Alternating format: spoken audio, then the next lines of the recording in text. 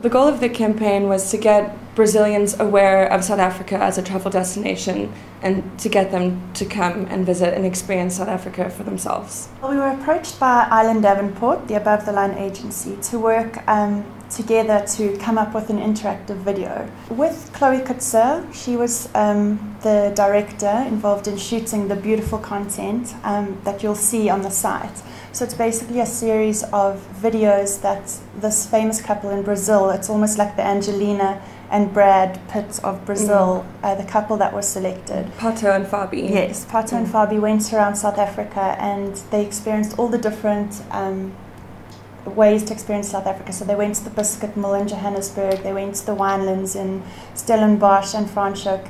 And in doing so, at the end of each section, the user could choose where to go next. So it really gave them a, a feel like they were behind the driver's seat of, of experiencing what they would like to in South Africa. And what was nice about that was that we could see from a digital perspective what users were choosing in Brazil. So it was a really rich pool of data for us to use to retarget them at a later date. We amplified it by creating a game. It's called the Companion Game, and so it was based off like a would you rather kind of idea. So we took experiences that Pato and Fabi went on in the video, in the interactive video that we did, and we created a game for them as like an A-B testing type game. So you go through and you can choose either like I'd like to go surfing with Pato or I'd like to go wine tasting with Fabi. And from the results that we got in the game, we got this rich data pool around what people were really interested in doing in South Africa. And like Jules said, then taking that and retargeting. The game was built on a microsite, and then we used Facebook to amplify to amplify yeah. the game. Yeah.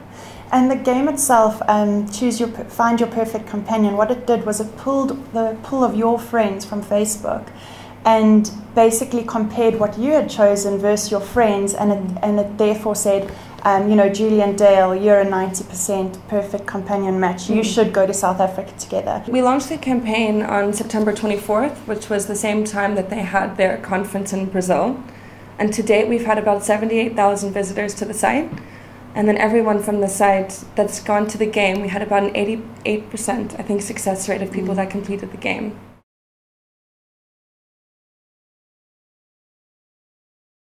I wouldn't say that it would necessarily be like a brand new learning, but it was really cool to see the power of social media and what it can do for a campaign. Mm. And I think further to that, we really paid close attention to the Google Analytics. So we deduced a lot of um, like user feedback, like you know, are people skipping through? Are they watching to the end? How mm. can we change that? How can we get them to stay longer?